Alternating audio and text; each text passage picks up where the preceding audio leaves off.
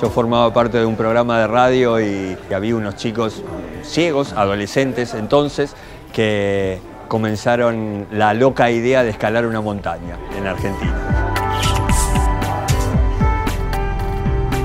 A mí me fascinó la idea al punto de, intervenir en las reuniones de ellos y, en esas reuniones me empezaron a preguntar de cómo era eh, el cielo estrellado y ahí tuve que inventar una herramienta, en este caso traducir las estrellas en cuanto a las más brillantes, ahora son las que mejor se escuchan, las menos brillantes son las que se escuchan un poquito menos y un juego de tonos, de graves, agudos, para descubrir también los colores con que se nos presentan en la observación cada noche. Así que representar eso con sonido, las estrellas, para poder eh, mostrárselas a las personas que no tienen la posibilidad de ver.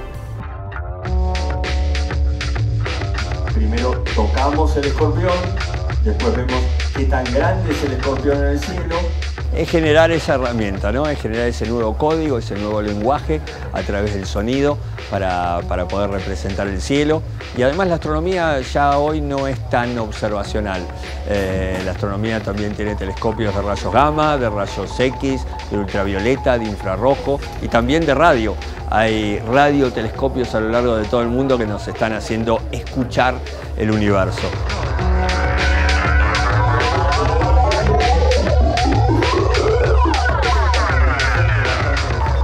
Charla aquí en Parque Explora eh, había personas con, esa discapacidad y uno de ellos eh, agradecía el haber eh, conocido cómo era la luna, porque él creía que la luna era como un queso, como, como, como algo chato. Y la era solo media, como un queso, que siempre la hayan mostrado así, y veo que es como la Tierra, es una esfera y que tiene montañitas y huecos y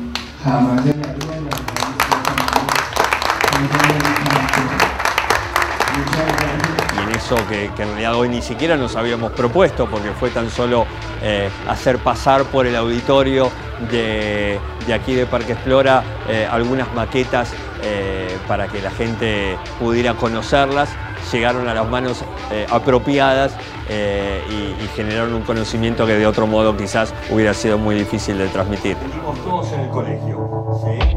Donde y otro que sí.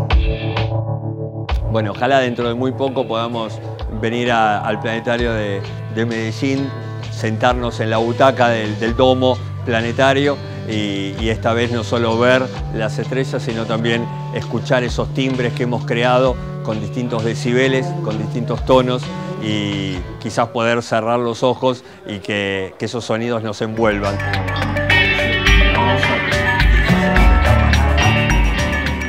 ojalá sigamos en esa, en esa línea para que las cosas que le maravillan a uno le puedan maravillar a cada uno que tenga ganas de hacerlo.